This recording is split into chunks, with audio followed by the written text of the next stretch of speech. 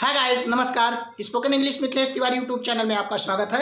Guys आज हम आपको प्रत्यय के रूप में cide C I D suffix के रूप में, जो वर्ड के अंत में लगता है, साइड के रूप में लिया है वन वर्ड सब्सटीट्यूट के तहत। तो वन वर्ड सब्सटीट्यूशन में जो अंत में लगता है, उसको प्रत्यय है, जो अंत में लगता है, उसको हम बताएँगे, जिसका अर्थ होता है हत्या करने वाला आदमी या नाशक द्रव्य। हत्या करने वाला आदमी या नाशक द्रव्य। तो मेरा जो पहला वर्ड है, वो है फ्रैटरी साइड अर्थात a person who kills brother that is called fratricide भ्रातृ हत्या या भाता भाई की हत्या या भ्रातृ हत्या कहलाता है।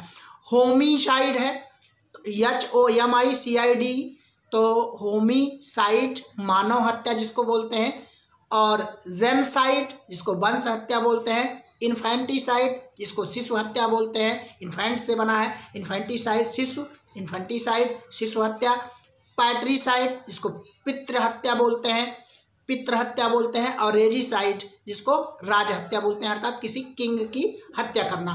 तो एक बार देख लेते हैं, भ्राता की हत्या भ्रातृ हत्या, मानव की हत्या, मानव हत्या, वंश की हत्या, वंश हत्या, शिशु की हत्या, शिशु हत्या, पिता की हत्या, पितृ हत्या, राजा की हत्या, राज हत्या। तो फ्रैट्रीसाइड, होमीसाइड, जनसाइड, इन्फेंटिसाइड, पैट्रीसाइड रेजीसाइड ठीक है? तो ये चीज़ जो है आपको समझने लायक है, इसको आप लिख लीजिएगा। अगला देखते हैं।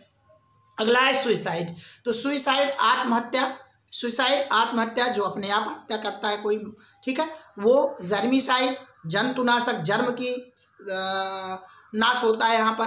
तो जंतुनाशक है जर्मिसाइड जो जर्म का नाश करे इंसेक्टी कीटनाशक है और इंसेक्ट से बना है इंसेक्टिसाइड इंसेक्ट कीटनाशक और पेस्टिसाइड कीटनाशक पेस्टिसाइड कीटनाशक और इंसेक्टिसाइड कीटनाशक और बैक्टेरिसाइड। तो बैक्टेरिसाइड जीवाणुनाशक। तो ये था साइड पर, जो बहुत थोड़े में मैं बताना चाह रहा था, क्योंकि लोग कह रहे थे बहुत बड़ा हो जा रहा है। इसलिए बस इतना ही, मिलता हूँ कुछ नया लेकर के। धन्यवाद, नमस्कार।